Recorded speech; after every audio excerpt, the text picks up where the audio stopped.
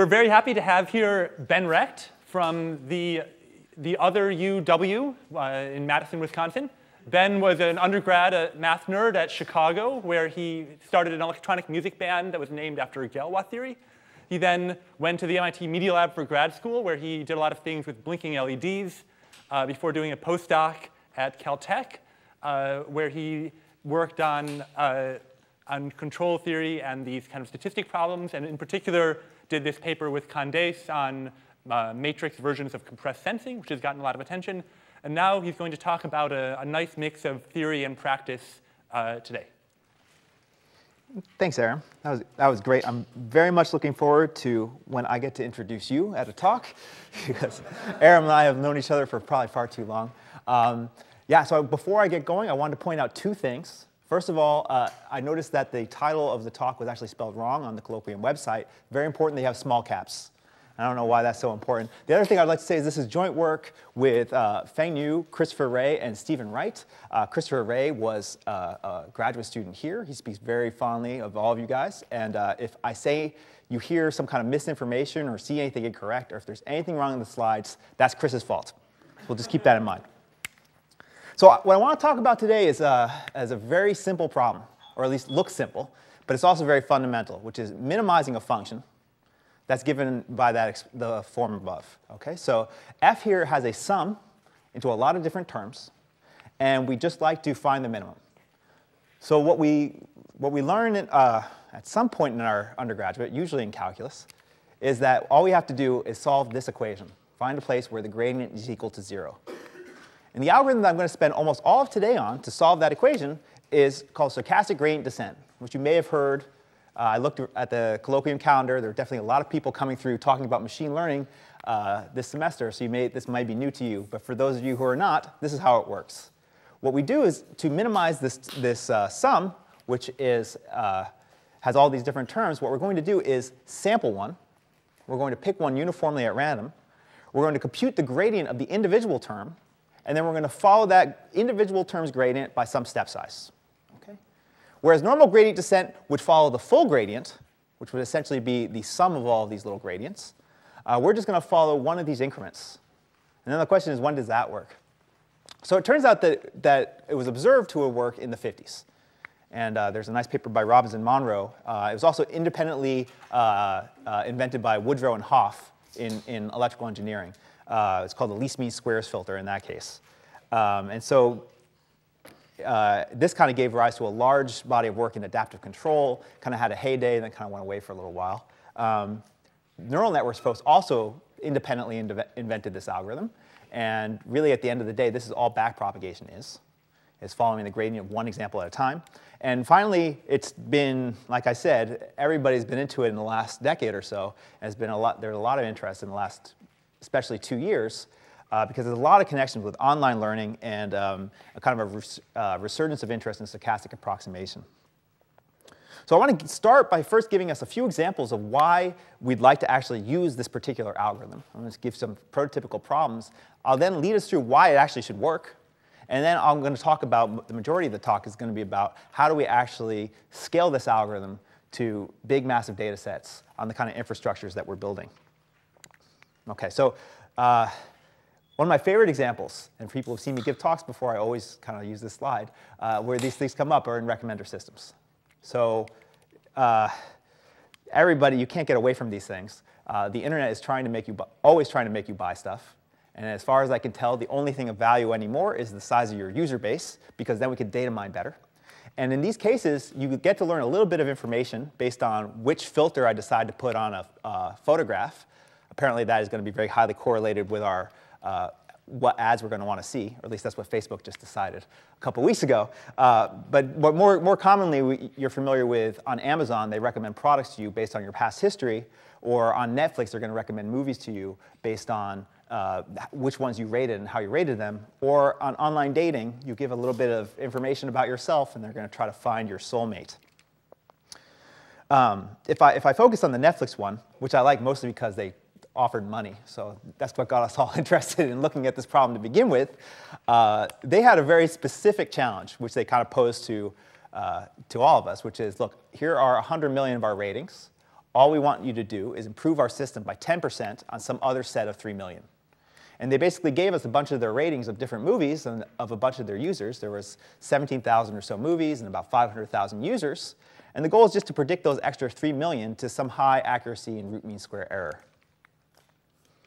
Okay, so in this case, we have this like this giant data matrix, which would have a total of 8 billion entries, and we're just trying to fill in those missing blanks. Okay? So a very popular abstraction for how we might fill in the blanks, well, first of all, to fill something in, you need to assume some structure. The question is, what structure are we going to assume? And a popular one, and kind of the first thing we teach in the machine learning class, is to assume that there is some kind of low rank factors that give rise to most of the information you need to fill in the data.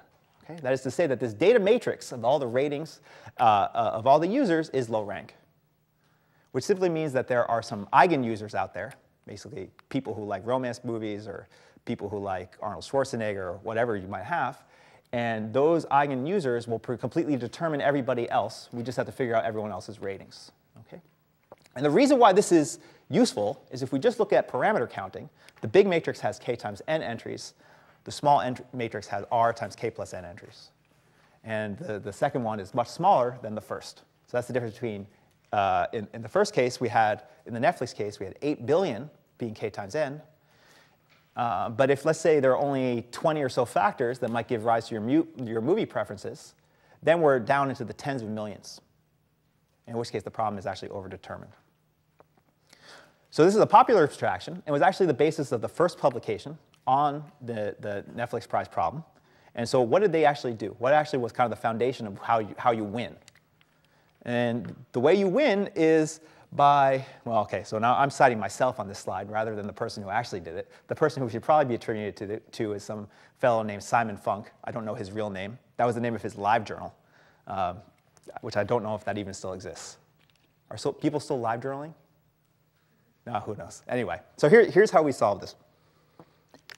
So what we want to do is minimize, and everything I'm going to do is going to come out as writing everything in terms of the function the sum that we had on that first slide. We want to minimize the squared error between what we observe, which would be this matrix M, and some, some matrix X, which is what we're trying to infer.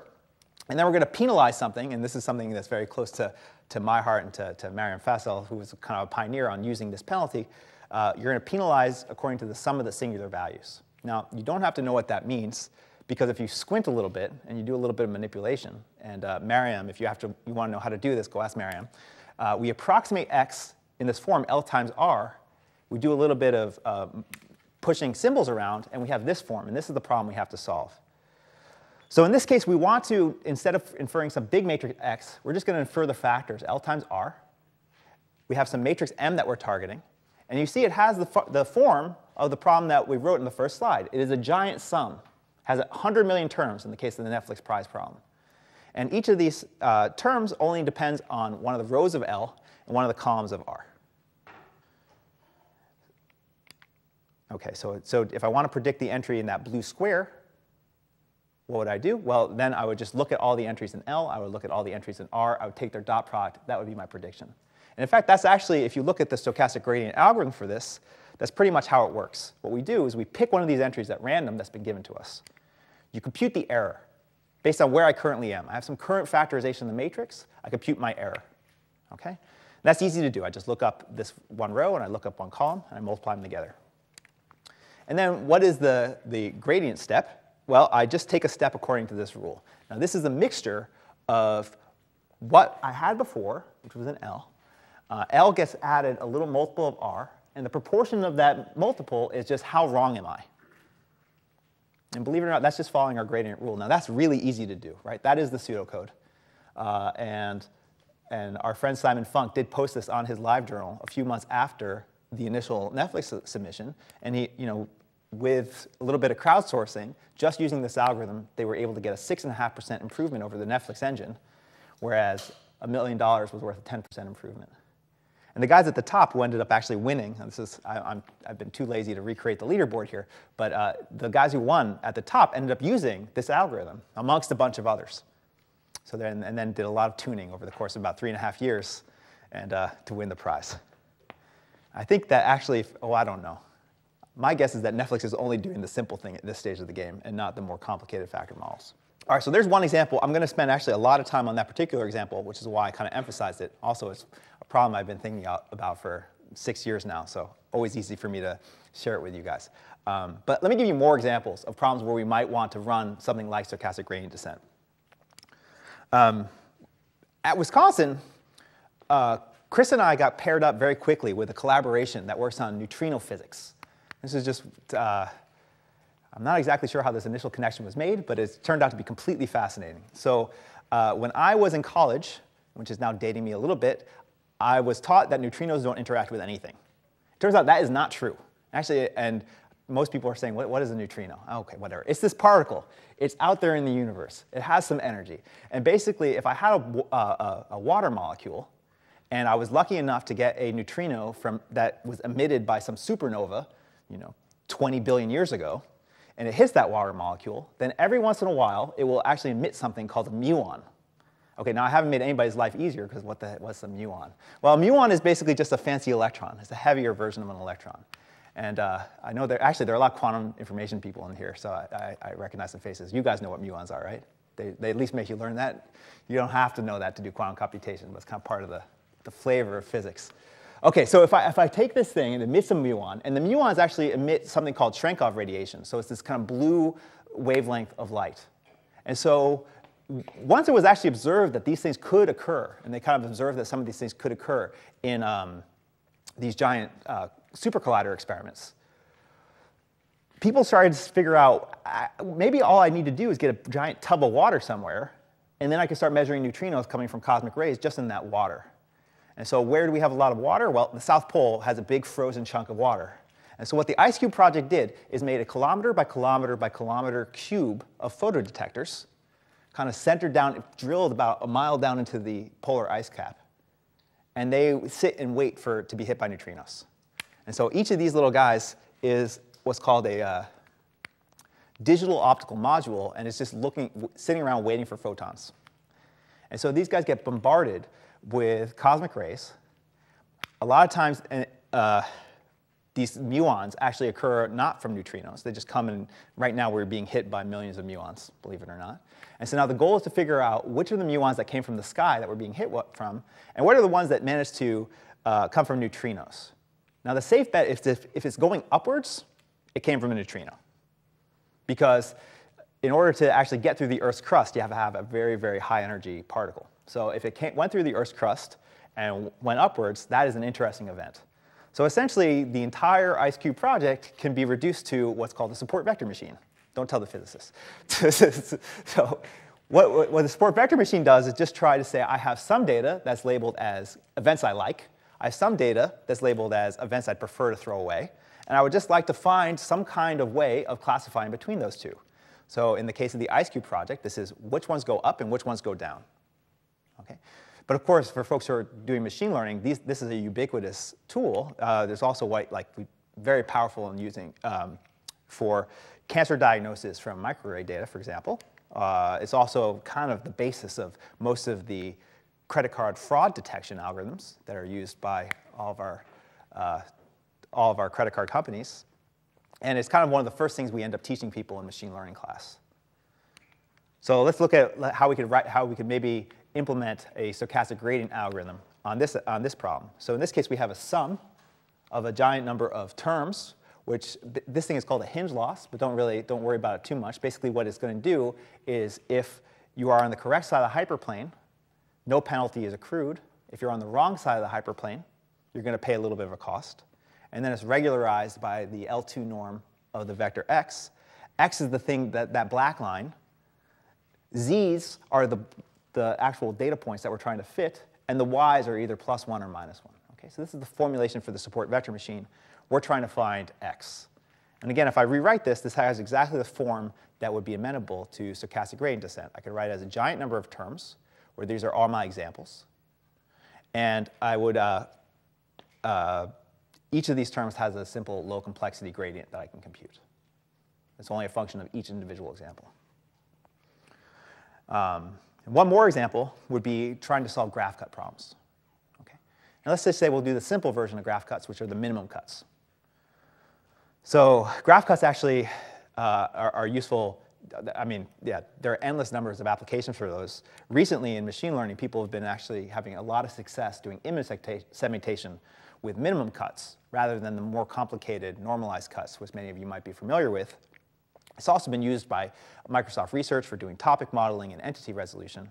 And these problems also have a really nice form. We would have a sum of weights times the L1 distance between uh, two node, uh, two variables, xu and xv, xu and xv, each xu is assigned to one of the vertices in the graph, and it just is supposed to be some member of the probability simplex. And what you could interpret of that is if it lies in one of the corners, it belongs to that particular entity that we're trying to resolve. So, or you could abstract the problem away and just say we're trying to solve a large uh, L1 minimization problem. And again, has the form that we like. It's a giant sum of terms, each of them only requiring some local information. Okay. So I've, I've, now presented, let's get back to the, the heart of the matter. We have this, this problem where we see over and over again, we can come up with optimization problems where we want to minimize a sum, huge sum of terms. And again, like in the Netflix case, n is 100 million. And the local small gradients involved with each of these terms are actually quite simple. Okay? So It'd be great if this algorithm works. And now I'd like to just give you a little bit of intuition as to why it works. Okay. And so we'll start with one of the simplest ones we can do, which would be computing the mean. All right? So here we just want to minimize the difference between x, x is our variable, and k are just some numbers. So Aaron, what's the answer?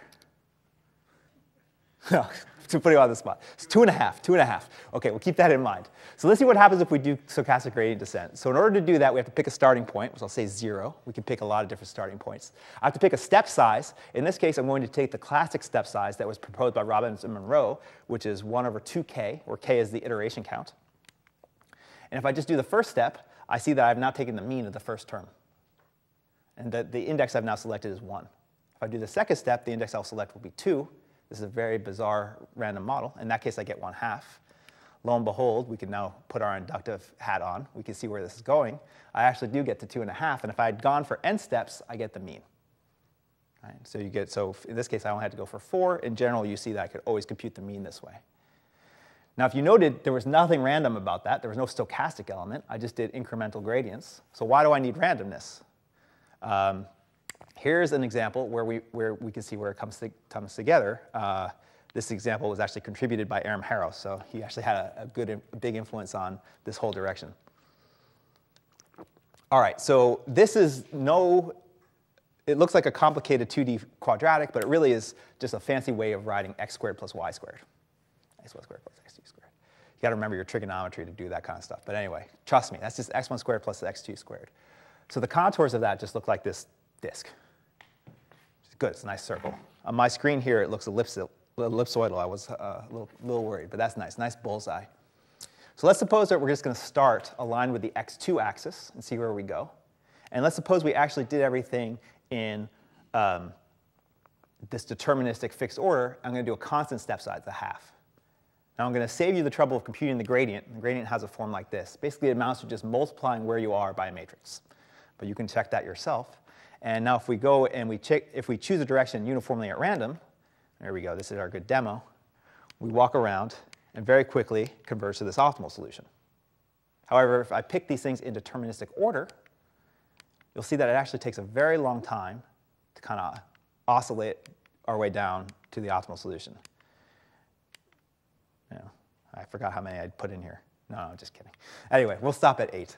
So you see that it actually takes a really long time to get down to this optimal solution. So randomness is important. And we're going to return to at the end how much randomness you need.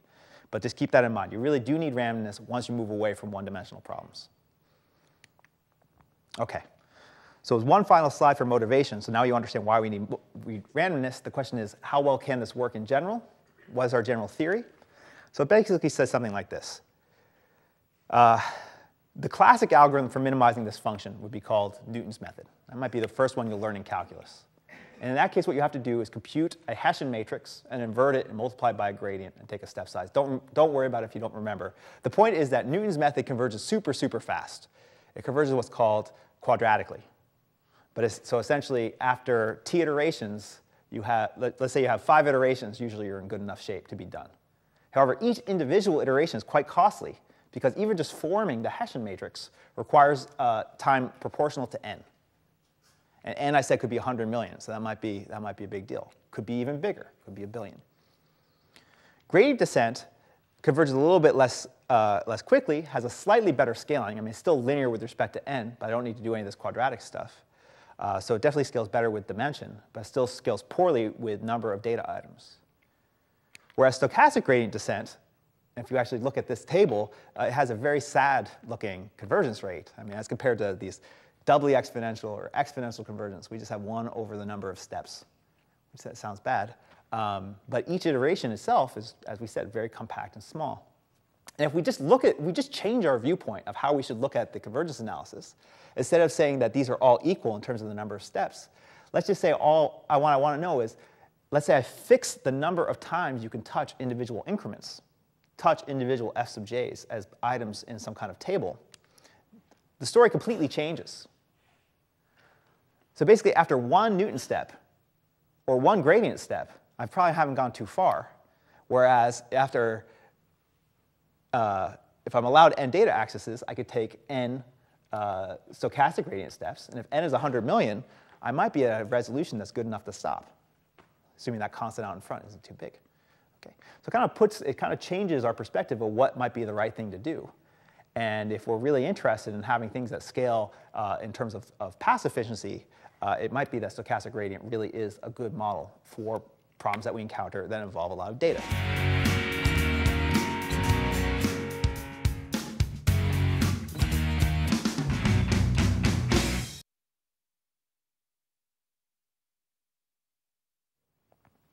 And indeed, we're told all the time that that's all we have to be thinking about, that all of us really have to be devoting our attention to big data. I mean, Barack Obama says that everybody has to stop what they're working on and start thinking about big data.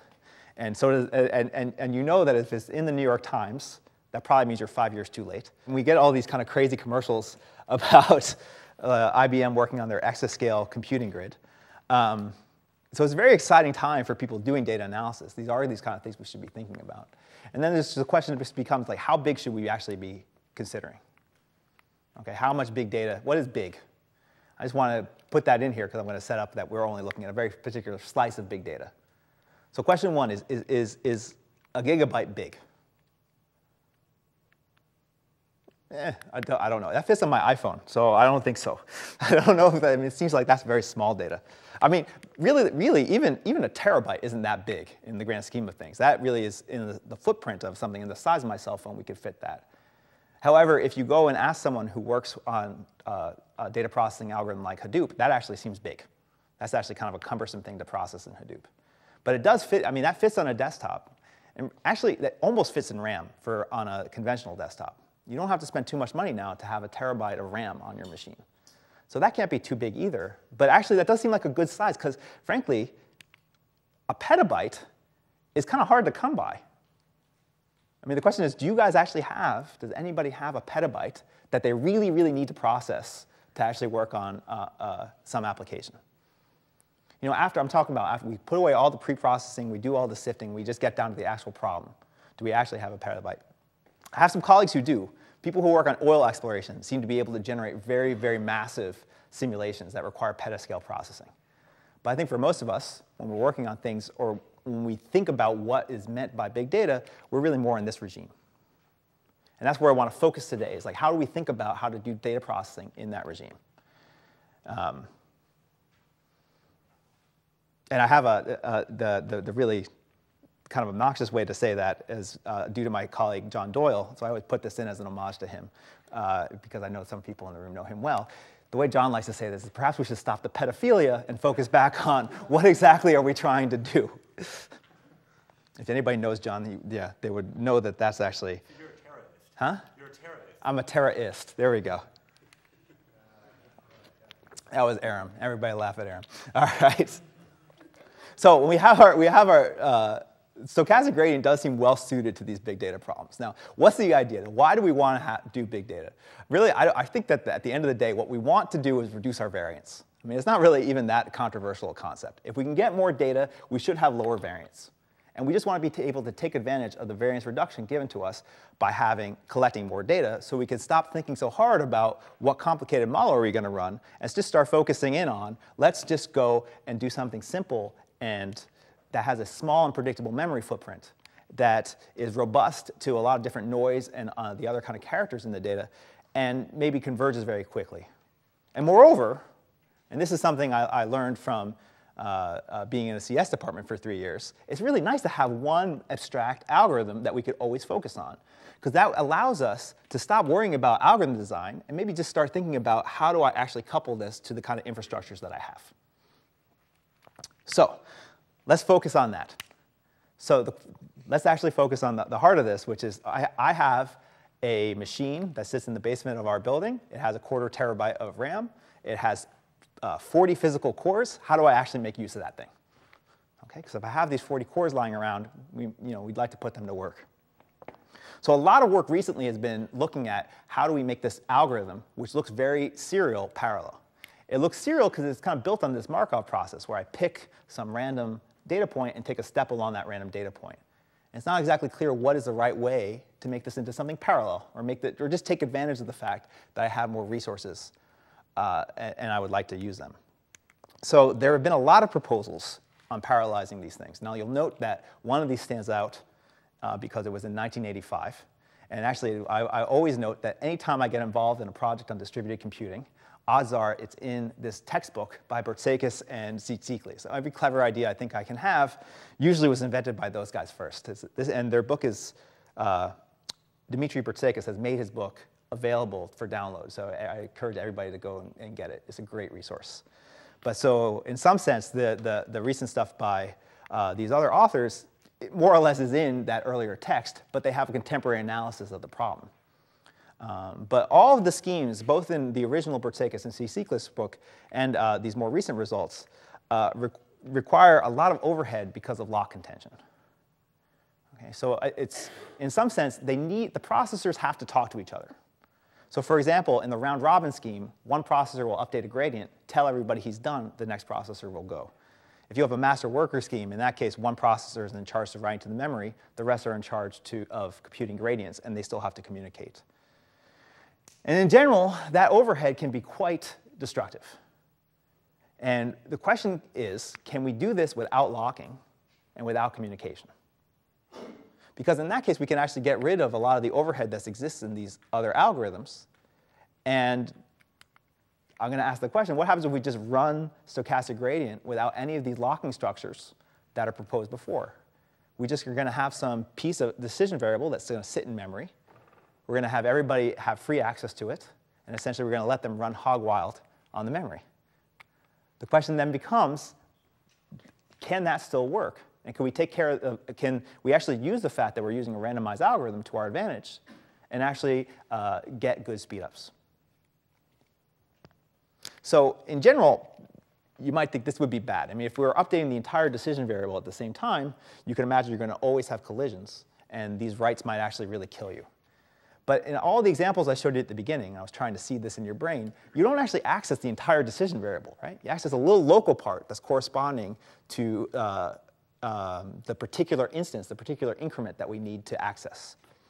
So I'm going to formalize that in this notion of sparsity. And sparsity here, I'm just going to, and there's, there's a little bit of mumbo jumbo. If you guys don't know hypergraphs, it's really not that hard. The vertices all I want are, are just going to be uh, each unit of memory.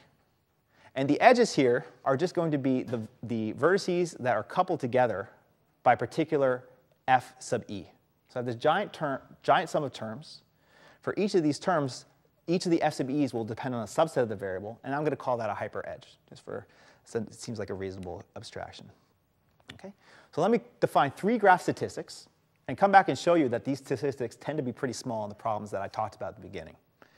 And these are going to be the crucial ones for actually getting this kind of nice linear speed up when we run uh, our stochastic gradient descent in parallel.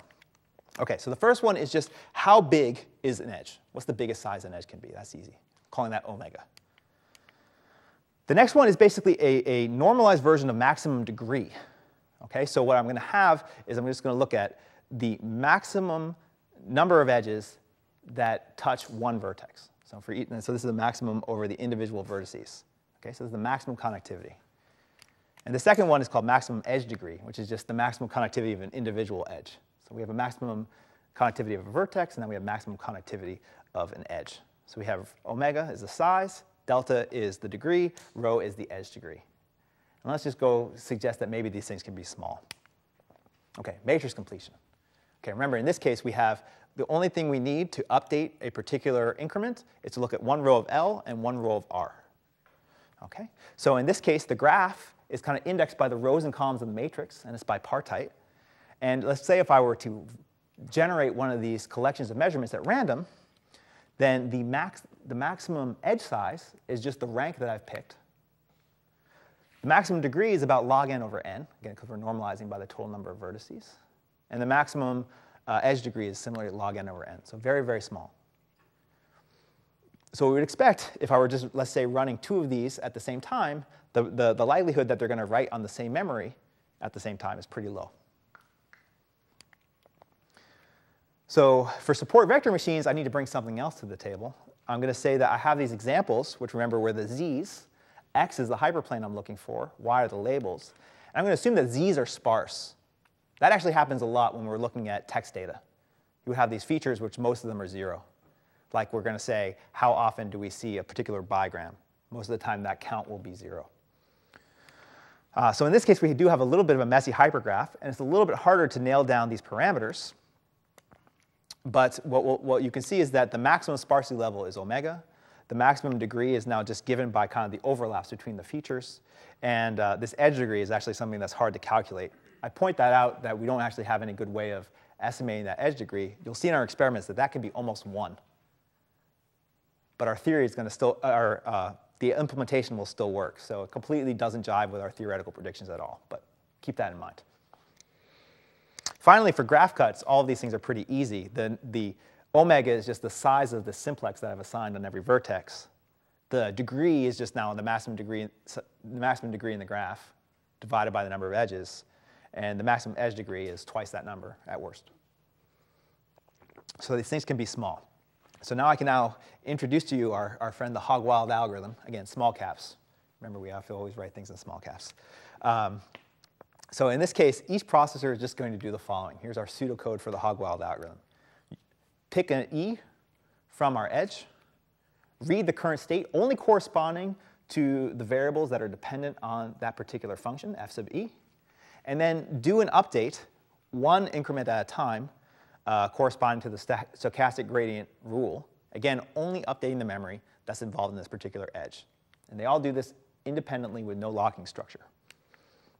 And the only thing we're really assuming in our analysis is that we can atomically do an add,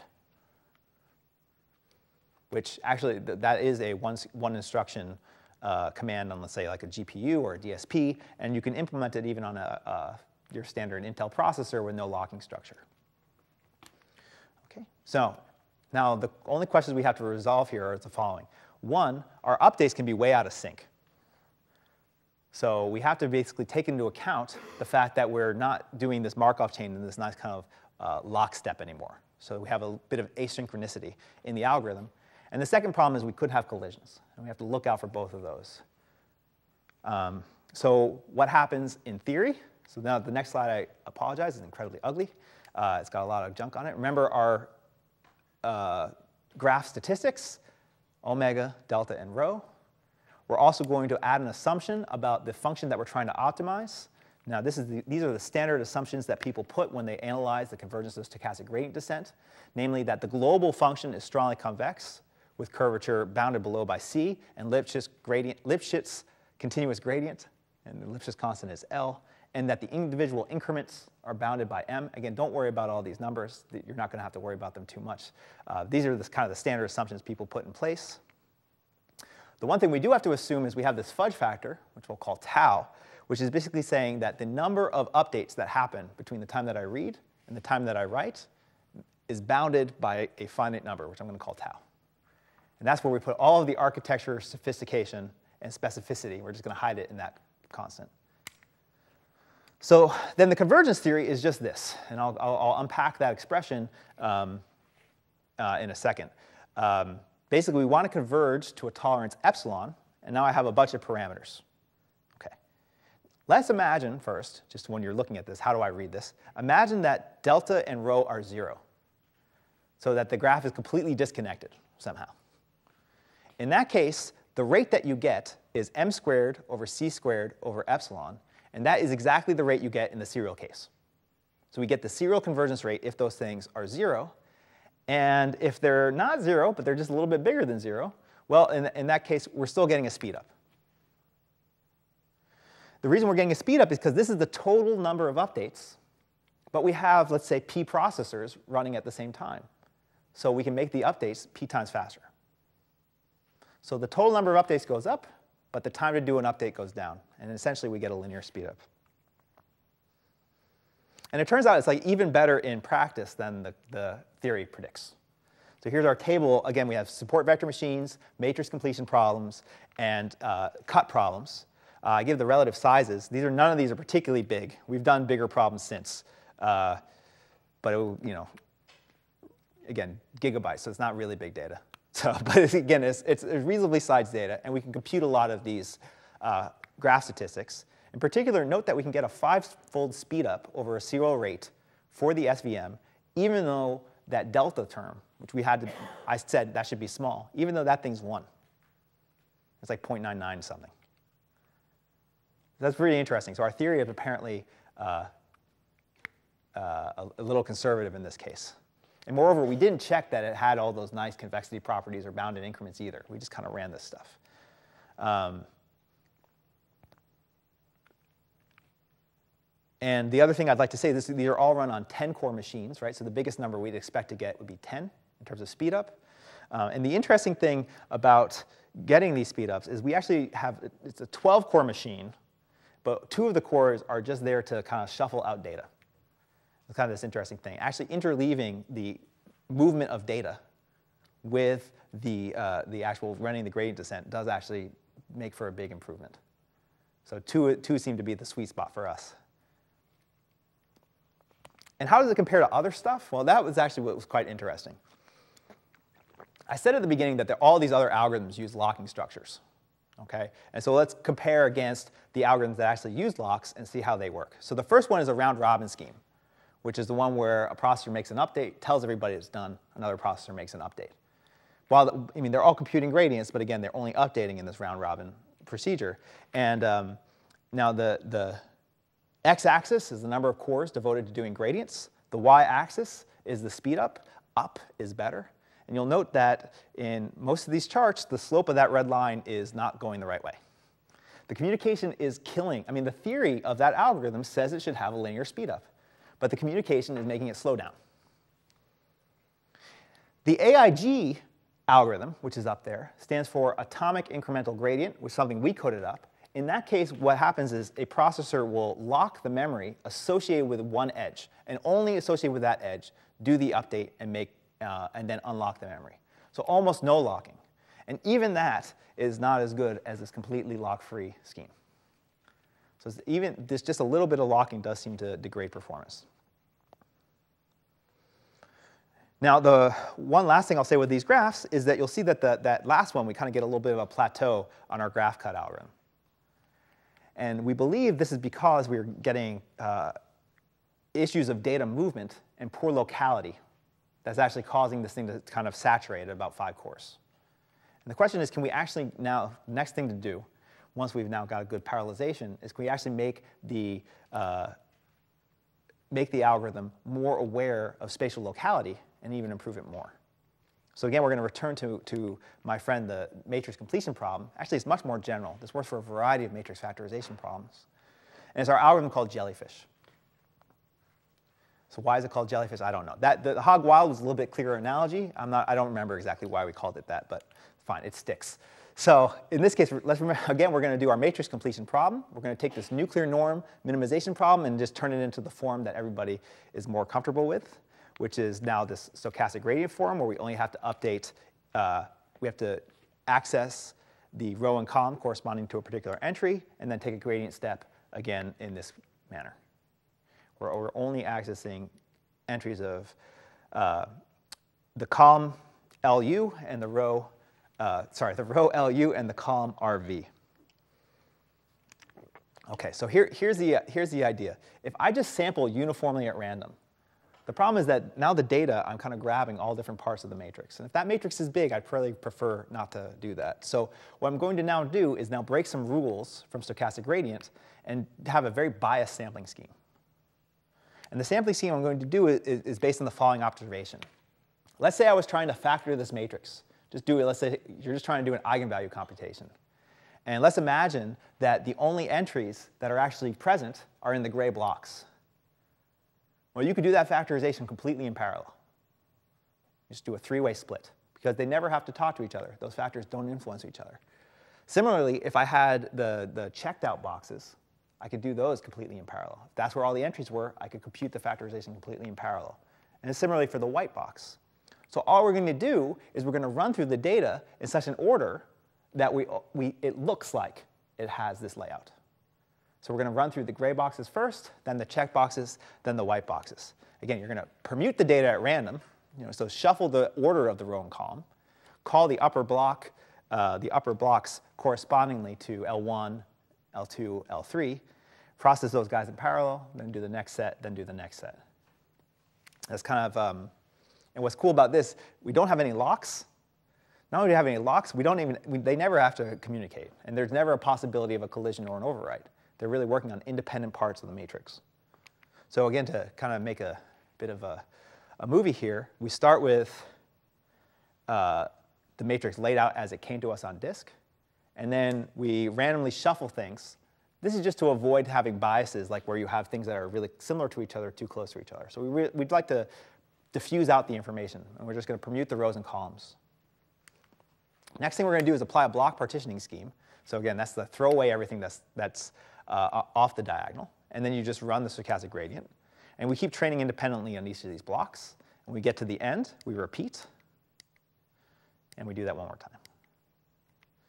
So what happens in this case? Well, now we just take our off-the-shelf solver that did the serial scheme. Um, and actually, I took, we took some uh, MATLAB code, and we tried to optimize it as much as we possibly could. Uh, and this was actually a graph that I made in a paper in NIPS of uh, 2010. I was very pleased with myself because we had really hyper-optimized this Netflix thing to run pretty quickly. And what's in 10 to the 4 seconds, you know, that's very admirable, a few hours. Uh, now we go and do this jellyfish thing on our 12-core machine, and it's two minutes. So it's already 100 times faster than standard solvers just using 10 cores. And when we went to our 40-core machine that we initially we just installed in the basement, now we're even getting an extra factor of 3 and we don't yet know where this will run out. It was very nice. Okay, let me close with one, because as Aram promised some people, I know he sent, sent a note out saying that there was a little bit of theory involved here. Here's the last bit, which is the theory question. I broke the rules. All of our theory basically really needs this kind of random sampling, this uniform, bad locality random sampling to work. Um, when we ran on the Netflix prize data set, using the biased sampling, which is corresponding to this shuffle and then block uh, descend, we observed that not only was it faster, but the actual number of updates was smaller. Like by the, using the exact same number of data accesses, we had a better lower uh, error at the end. So we have three lines here. There's a green line, which is our biased bizarre sampling. There's a green, uh, blue line, which corresponds to the theory. And then there's that red line, which corresponds to doing nothing, just doing it in order. And the green line, while it's breaking all the rules of the theoretical analysis, is actually better. Okay? So the theory treats, it, it turns out that the theory treats without replacement sampling, or any bias sampling, like the red line. And we know that's not true. It's actually completely the opposite. In practice, without replacement sampling for stochastic gradient descent is always faster. And even if you do biased orderings, it's still faster. And the question is why? So the, this last chunk of the talk is about uh, a paper that will appear at Colt in a couple months. Um, and I'm just going to do a very fast overview, and you can come ask me about it later to kind of go into the details. Um, let's just anal analyze something really, really simple, which is least squares. Is kind of my favorite first simple optimization problem. And moreover, let's assume that this thing has an exact solution with zero cost. So this is actually a fancy way of saying let's solve a system of equations that's overdetermined. Okay, so we have an overdetermined system of equations, and we're going to solve it using stochastic gradient descent, which might not be how they teach you how to do it, but okay, this actually will work. Okay, so if we were to do it in a fixed order, again, you write out your gradients. Turns out that things are going to look actually like projection matrices. You write out your gradients, and you get the following expression for the nth iterate. It's where I'd like to be, the optimal solution, plus this matrix product, and all of these products have norm less than 1, so they're shrinking things down to 0, times how far I start. If I did it with replacement, basically all I have to do is take an expectation of that, that uh, uh, product. And each of the terms are sampled uniformly with replacement, so they're all the same term, and they end up being this matrix to the nth power. And now we actually have a very concrete problem, and the question is, which of these two is better? Is it doing this fixed order? Is it doing it with replacement? Or is there some other order that I could do that has that kind of product form that will get me an even better result? Okay. So it's kind of a clean, clean version of the problem, and it's the simplest one we can state. Now, if we go back to Aram's counterexample, again, Aram was the guy who came up with this nasty version, we actually had a case where doing the uniform order, the directions that were uh, just in the order that we were given, is exponentially slower than doing the random order. And that was also seen when I showed that plot before, that if you just do a fixed order for the Netflix prize problem, very slow. And so the question is, what if I just do a random order? Does that get a random order, but a uniformly sampled with replacement random order? Does that get me closer to the optimal solution? And that could be summarized by the following question. I'm going to give you n positive definite matrices. They're all going to be d by d matrices. I want to look at the products that I choose them with replacement. And then I want to say, is that ordering bigger than the products that I choose without replacement? So for scalars, this is just the arithmetic geometric mean inequality. So the answer is yes. And that's probably why we're seeing that the without replacement ordering is always better. And in fact, for matrices, it's true for n equals 2. If we have two matrices, it's true. So it's true for d equals 1 and n equals 2. Uh, it's true if A are selected uniformly at random, and we are yet to find a counterexample to this problem. And we've been searching. We've been wasting CPU cycles just searching for counterexamples. So the question is, is there a non-commutative version of this arithmetic, geometric mean inequality? And if so, I think this would have a lot of uh, uh, influence over how do we actually design new algorithms to take care of the fact that these without replacement samples not only are they better in theory, but they actually have a lot of practical considerations that made them better for implementation as well. Okay, so, so here, what are our practical lessons from today? The, the big one, and this is actually not due to me at all, this is what people in parallel computing have been saying for years, and Jim Demmel is going around with this big hammer, is don't lock and don't communicate. When we write parallel code, try to do it with as little communication as possible. And the second issue is that taking advantage of spatial locality, as everybody knows in computer science, is really important and can lead to pretty dramatic speedups. So we have plenty of more stuff that we're trying to do along these lines. Um, we're working on coming up with better bias orderings of stochastic gradient descent, um, working on automatically identifying the locality that allows us to actually have some of the data access properties of uh, the matrix completion problem for more general problems. And finally, we've been grinding and really trying to come to some, make some progress on this non-commutative arithmetic geometric mean inequality. And I'm hoping my, my quantum friends in the room might have some insights on, on how we might make some more progress on that. Okay. Thanks everybody for your attention. Happy to take any of your questions.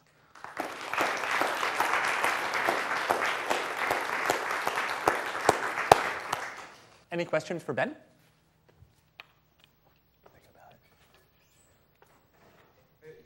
Work on a 12-core system. This code sounds like it would be portable to CUDA or a GPU. Have you tried it on a system with a lot more cores? We, haven't tried it on a GPU yet. Uh, part of the reason being is that we just we don't actually have one. Part of the reason being is we've been actually interested in trying to uh, make these things run on our kind of uh, on these beefier multi-core machines. The only stumbling block I would see uh, with the GPU is just the data in out. It's just moving the data in and out. It seems like there's a little bit of an I/O bound at that point, but uh, it'd be awesome if someone could try it. Our code, uh, I will say, our code is all up on the web. So if you guys want to download it and, or, uh, and play with it, we'd really appreciate any feedback um, at these links. Yeah. Um, does this generalize to matrix completion in bases other than the standard matrix element bases? That's, a, that's a great question. The question is, does this algorithm generalize, these matrix factorization al algorithms generalize when the sampling model is not necessarily aligned in the way uh, uh, as entry selection? I'm not 100% sure if it does. Uh, certainly the parallel, uh, the factorization thing seems to still hold.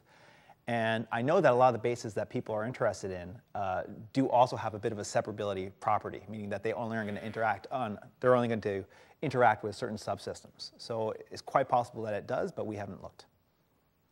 If there are no more questions, let's thank Ben again. Thank you.